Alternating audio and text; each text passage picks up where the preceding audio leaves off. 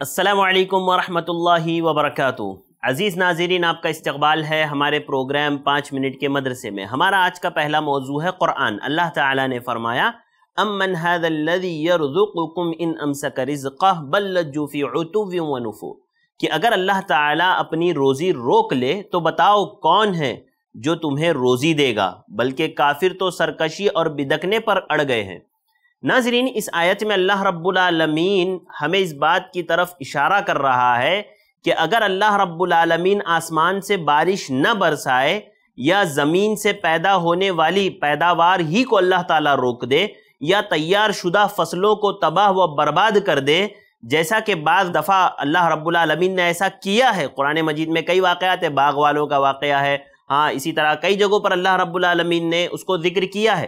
تو اگر اللہ تعالیٰ یہ سارے معاملات کر دے اور یہ جو تمہاری خوراک ہے، جس کی وجہ سے تمہاری خوراک کا سلسلہ موقوف ہو جائے، اگر اللہ تعالیٰ ایسا کر دے تو کیا کوئی اور ہے جو اللہ کی مشیت کے برعکس اس کے مخالف تمہیں روزی دے سکے؟ یعنی واض و نصیحت کی ان باتوں کا ان پر کوئی اثر نہیں پڑتا، بلکہ وہ حق سے سرکشی اور اعراض و نفور میں ہی بڑھتے چلے جا رہے ہیں۔ یہ لوگ نہ تو عبرت پکڑتے اور نہ ہی غور و فکر کرتے۔ لہذا ناظرین، مجھے اور آپ کو سمجھنا چاہیے کہ جب کھلانے والا اللہ ہے، پلانے والا اللہ ہے، رزق دینے والا اللہ ہے، زندگی دینے والا اللہ ہے، موت دینے والا اللہ ہے، سارے کام اللہ رب العالمین کرنے والا ہے، تو ہم کیوں اللہ کو چھوڑ کر کے دوسروں کے پیچھے بھاگ رہے ہیں؟ دوسروں کی عبادت کر رہے ہیں، دوسروں کو جو ہے پالنے والا، کھلانے والا، پلانے والا سمجھ رہے ہیں۔ اگر یہ ساری چیزیں اللہ بن کر دے تو یاد رکھیے، کوئی شخصیت، کوئی ایسی ذات نہیں ہے جو اللہ رب العالمین کو یہ دینے پر مجبور کر سکے۔ اللہ چاہے تو دے، اللہ نہ چاہے تو کوئی اسے مجبور نہیں کر سکتا۔ ناظرین، چلتے ہیں ہمارے آج کے دوسرے موضوع کی طرف۔ مگر اس سے پہلے آپ سے ایک گزارش۔ آپ ہمارے ویڈیو کو لائک کریں، کمنٹ کریں کہ آپ کو ہمارا پروگرام کیسے لگ رہا ہے۔ آپ کو اور کیا چیزیں جاننی ہیں آپ کمنٹ کر کے بتائیں اسی طرح ہمارے چینل کو سبسکرائب کرنا نہ بھولیں ہمارے اس ویڈیو کو ضرور بھی ضرور شیئر کریں ناظرین ہمارا آج کا دوسرا موضوع ہے تاریخ اسلام تاریخ اسلام میں ہم لوگ اسلام میں انبیاء و رسول کے بعد سب سے اعلیٰ و افضل شخصیت اور خلفاء میں سب سے پہلے خلیفہ حضرت ابو بکر صدیق رضی اللہ تعالی عنہ کی زندگی کے مبارک دن اور سنہرے واقعات دیکھ رہے ہیں۔ آج انشاءاللہ ہم بات کریں گے حضرت ابو بکر صدیق رضی اللہ تعالی عنہ کے خاندان کو ملنے والے شرف کے تعلق سے۔ جیسے کہ پہلے میں بتا چکا ہوں آپ کے سامنے کہ حضرت ابو بکر صدیق رضی اللہ عنہ کے گھرانے کو ایک ایسا شرف حاصل ہے جو کسی بھی مسلمان گھرانے کو حاصل نہیں ہوا۔ ان کا شرف یہ تھا کہ وہ خود بھی صحابی تھے، ان کے والد محترم ابو قحافہ بھی صحابی تھے ان کے بیٹے عبد الرحمن بھی صحابی تھے اور عبد الرحمن کے بیٹے محمد بھی صحابیت کے شرف سے ہم کنار ہوئے۔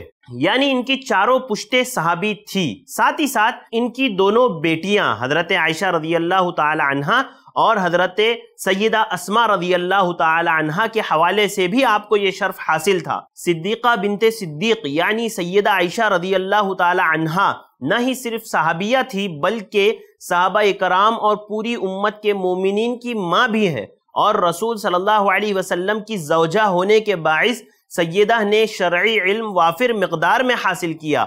مدرسہ نبوی سے اور بڑے بڑے عالم و فاضل صحابہ اکرام کو بھی جب کسی مسئلے میں دینی رہنمائی کی ضرورت پڑتی تو وہ ام المؤمنین ہی کی جانب رجوع کرتے یعنی وہ حضرت عائشہ رضی اللہ تعالیٰ عنہ کے پاس پوچھنے کے لیے آتے۔ اور حضرت عبداللہ بن زبیر رضی اللہ تعالیٰ عنہ کی والدہ سیدہ اسما رضی اللہ تعالیٰ عنہ ایک جلیل القدر صحابیہ تھی۔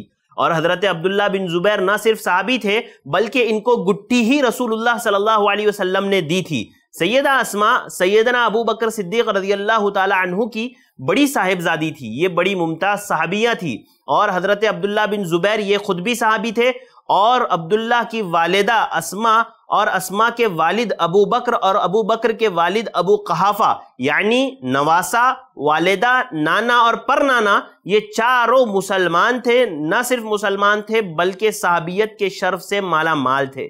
دیکھیے حضرت ابو بکر صدیق رضی اللہ تعالیٰ عنہ کی کتنی بڑی فضیلت ہے اور کتنا بڑا یہ ان کے لیے شرف ہے کہ بیٹے کی جانب سے بھی بیٹا اور ان کا بیٹا دونوں صحابی اور مسلمان رہے، بیٹی کی جانب سے بیٹی اور بیٹی کا بیٹا، یہ بھی صحابی اور مسلمان رہے۔ کتنی بڑی بات ہے کہ دونوں جانب سے آپ کو صحابیت کا شرف حاصل رہا۔ اور حضرت ابو بکر صدیق رضی اللہ تعالی عنہ کی چہیتی بیٹی، حضرت عائشہ رضی اللہ تعالی عنہ اللہ کے نبی صلی اللہ علیہ وسلم کی نکاح میں تھی۔ تو ناظرین، یہ چند باتیں تھی جو حضرت ابو بکر صدیق رضی اللہ تعالی عنہ کے شرف کے تعلق سے میں نے آپ کے سامنے رکھی۔ آپ کی زندگی میں بہت سے دلچسپ اور اچھے واقعات ہیں جو ہماری رہنمائی کرتے ہیں۔ انشاءاللہ وہ ہم آگے دیکھیں گے۔ اللہ تعالیٰ سے دعا کرتے ہیں۔ اللہ تعالیٰ ہم تمام کو کہی ہوئی باتوں پر عمل کرنے کی توفیق عطا فرمائے، انہیں یاد رکھنے کی توفیق عطا فرمائے۔ آمین۔ السلام علیکم ورحمۃ اللہ وبرکاتہ۔ دین کی بات عام کرنے میں آئی پلس ٹی وی کی مدد کریں۔ پے ٹی ایم یا گوگل پے کے لیے ہمارے نمبرز پر ٹرانسفر کریں۔ ایسے ہی اور ویڈیوز بنانے میں ہماری مدد کریں۔